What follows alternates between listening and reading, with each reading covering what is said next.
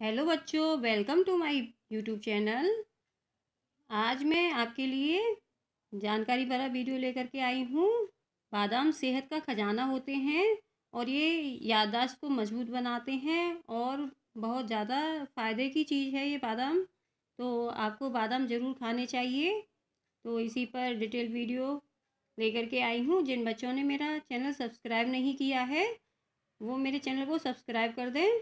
और bell button दबा दें जिससे कि कोई भी नया वीडियो मैं डालती हूँ तो उसका नोटिफिकेशन आपके पास आए और आप नई नई जानकारियों का फ़ायदा उठा सकें। तो मैं स्टार्ट करती हूँ। बादाम खाना दिमाग और सेहत के लिए अच्छा माना जाता है। बादाम खाने से दिमाग और दिमाग का विकास और याददाश्त मज़बूत होती है और इम्यूनिटी भी बढ़ती है। ये बादाम ओमेगा थ्री जो एसिड है उसका मूल स्रोत है।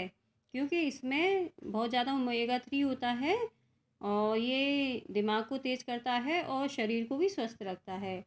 तो आपको ये बादाम कब और कैसे लेने हैं और कौन कौन सी क्वालिटी आती हैं इसमें? इस पर मैं बात करूँगी। तो इसमें एक तो कैलिफ़ोर्निया का बादाम आता है, ये आपका कैलिफ़ोर्निया का बादाम है और ये ये मामरा बादाम है, ये ऐसे। इसकी पहचान बताती हूँ, कैलिफ़ोर्निया का बादाम जो होता है वो डार्क कलर का होता है, हल्का सा, गहरे रंग का और फूला फूला बादाम होता है। ये देखिए ऐसे फूला फूला सा दिख रहा है और एकदम फ्रेश फ्रेश सा दिखता है ये। फूला फूला होता है ये बादाम कैलिफ़ोर्निया का। और ये ये जो है, ये मामरा बादाम है।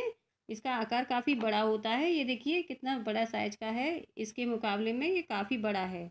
ये देखिए।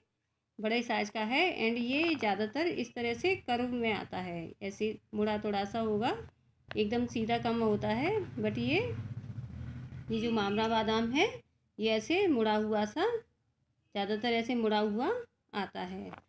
तो ये ये जो मामला बादाम है, ये बहुत महँगा आता है, दो हज़ार रुपये किलो है और ये करीब एक हज़ार बारह सौ रुपये बारह तेरह सौ रुपये किलो आता है करीब। ये जो कैलिफ़ोर्निया बादाम है, क्योंकि कैलिफ़ोर्निया में उपज ज़्यादा होती है इसकी, इस बादाम की, इसीलिए इसे कैलिफ़ोर्निया बादाम कहा जाता है। वैसे तो सारे विश्व में यहाँ तक हमारी इंडिया में भी, भारत में भी इसका, इसकी उपज होती है और कश्मीर में भी ज़्यादातर पहाड़ी इलाकों में इसकी उपज होती है। तो इसको कितना कितना खाना चाहिए, इस पर मैं बताती हूँ आपको।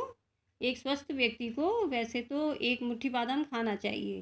करीब करीब तीस पैंतीस ग्राम होता है ये एक मुट्ठी बादाम। पर ये छोटे बच्चों को आप चार या पाँच बादाम दे सकते हैं। लेकिन ये ऐसे ही मतलब सूखा हुआ बादाम नहीं खिलाना चाहिए क्योंकि इसका ये छिलका होता है ना, ये ये पचने में ये इम्यूनिटी को इफ़ेक्ट करता है। मतलब हमारी जो इम्यूनिटी पावर होती है उसको इफ़ेक्ट करता है। ये आसानी से पचता नहीं है, इसका जो ऊपर का छिलका होता है, इसलिए इसको भिगा कर और छिलका हटा करके ही खाना चाहिए ज़्यादातर। बहुत से लोग सूखा भी खाते हैं। आप सूखा खा सकते हैं, यदि आपकी इम्यूनिटी पावर अच्छी है तो आप इसको सूखा खा सकते हैं। लेकिन आपकी इम्यूनिटी में यदि कुछ भी थोड़ी सी भी प्रॉब्लम है तो आपका ये छिलका आप पचाने में सहायक नहीं होगा। वो आपका पेट तो आपको ये भिगा कर छिलका हटा कर के ही खाना चाहिए। इसलिए इसको भिगाया जाता है। अब इन दोनों में क्या अंतर है? मैं ये आपको बताती हूँ। ये जो कैलिफ़ोर्निया का बादाम है, इसमें ऑयल की मात्रा कम होती है। ओमेगा ओमेगा थ्री इसके ऑयल में ही होता है। और इसमें ये क्यों कम कम प्राइस का है? और ये मामला बादाम क्यों ज़्यादा प्राइस का है? इसका मैं बताती हूँ, क्योंकि इसमें ऑयल कम होता है कैलिफ़ोर्निया बादाम में। एंड ये मामरा बादाम जो होता है, इसमें ऑयल बहुत ज़्यादा होता है। जो ओमेगा थ्री होता है, वो ऑयल में ही होता है और यदि इसमें मात्रा कम होती है। तो ज़ाहिर सी बात है कि आपको इसकी कीमत में फ़र्क आएगा, क्योंकि ज़्यादातर बादाम जो मार्केट में आते हैं, वो ऑयल के लिए ही आते हैं और ऑयल इसका काफ़ी महँगा होता है। तो यदि इसमें ऑयल ज़्यादा निकलता है तो ये बादाम भी महँगा ही होगा। अब आप इसको कैसे कैसे खा सकते हैं? अब ये सर्दियों का मौसम आ गया है हल्का सा तो आप इसको भिगा करके, हलवा बना के मतलब भिगा करके इसको पीस लीजिए और भून करके इसको हलवा बना करके भी खा सकते हैं। दूध, बादाम का दूध बना के भी खा सक, पी सकते हैं, शहद डाल के। तो आप चाहेंगे तो मैं उसकी रेसिपी भी बता दूँगी। जैसे बादाम को पीस लीजिए जो बादाम का दूध बनता है तो बादाम को भिगा के, छिलका हटा के उसको बादाम को पीस लीजिए।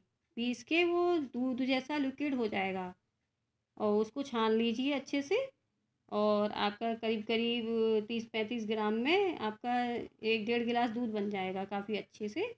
एंड आप उसमें एक चम्मच शहद डाल के आप उसको पीजिए। देखिए आप एनर्जी एनर्जी मतलब इतनी ज़्यादा एनर्जी मिलेगी कि आप बहुत ज़्यादा पावरफुल महसूस करेंगे।